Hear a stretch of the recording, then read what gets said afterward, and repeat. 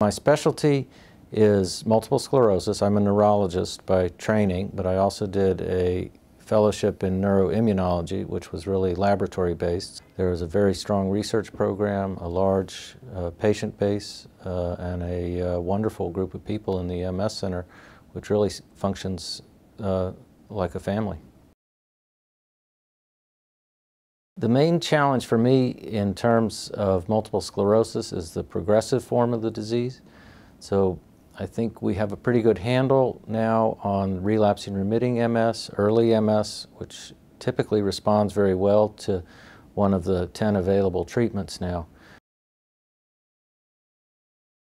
As far as uh, the family, loved ones of uh, patients who have recently been diagnosed with MS, there's often a lot of misunderstanding. MS is really not clearly a genetic disease. There are some genetic influences uh, but it's not anything that anybody did wrong or a gene that they passed on to their child, that sort of thing. So you have to clear that up right away. One of the big ones is uncertainty. MS has a high component of uncertainty, especially in its relapsing remitting phases. Patients are always sort of waiting for the other shoe to drop, you know, every new little bit of numbness and tingling or blurred vision, you know, is this going to be another relapse? Am I going to end up in the hospital? Do I need more steroids? Are we going to have to change the treatment? et cetera?